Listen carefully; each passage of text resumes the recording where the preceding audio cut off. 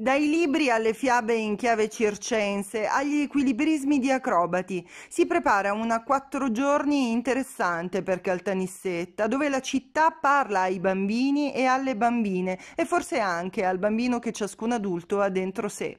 Un festival pensato per avvicinare sempre più i giovani alla lettura, ma non solo, anche il cross-booking, ovvero lo scambio di libri in piccole casette della cultura, che saranno presenti nei vari quartieri della città. Cominciano gli incontri eh, di letteratura per i bambini. Qui all'interno della biblioteca Scarabelli abbiamo degli scrittori che presenteranno le loro opere, i loro libri, sotto forma naturalmente di gioco, giovedì, venerdì e sabato dalle 17 alle 19 qui in biblioteca.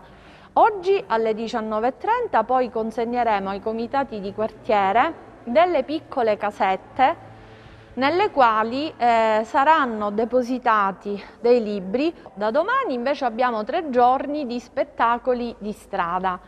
È eh, un appuntamento molto importante perché eh, sono degli spettacoli all'aperto, eh, sono dedicati sia ai grandi sia ai piccini.